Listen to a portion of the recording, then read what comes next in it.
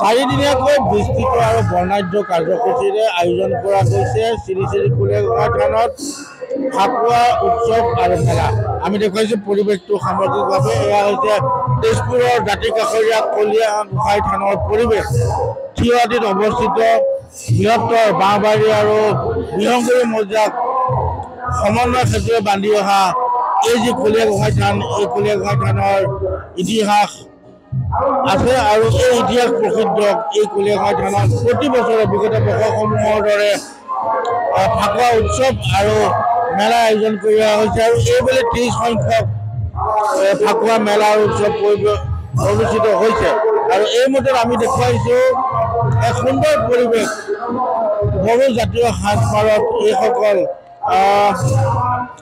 লোকে আৰজ পৰিৱেশন কৰিছে আৰু আমি উল্লেখ কৰিম পশ্চিম তেজপুৰ আঞ্চলিক বাথৌ মহাসভাৰ দ্বাৰা পৰিৱেশন কৰা হৈছে আৰজ অৰ্থাৎ শ্ৰী ফুলে গোহাঁইৰ প্ৰতি এক প্ৰাৰ্থনা আৰু সমূহীয়াভাৱে এনেদৰে বড়ো জাতীয় সাজপাৰত এইসকল বাথৌ মহাসভাৰ সদস্যসকলে পৰিৱেশন কৰিছে। আৰু যাৰ আমি দেখুৱাইছোঁ পোনপটীয়াকৈ এই পৰিৱেশ এয়া হৈছে তেজপুৰৰ দাঁতি কাষৰীয়া শ্ৰী শ্ৰী কলীয়া গোহাঁই থানৰ পৰা এই পৰিৱেশ আৰু এই মুহূৰ্তত পশ্চিম তেজপুৰ আন- যি বাথৌ মহাসভা বাথৌ মহাসভাৰ দ্বাৰা এয়া আৰজ পৰিৱেশন কৰা হৈছে।